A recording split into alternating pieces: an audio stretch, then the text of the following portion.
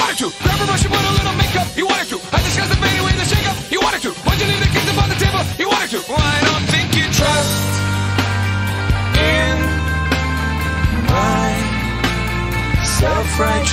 in my self-righteous suicide.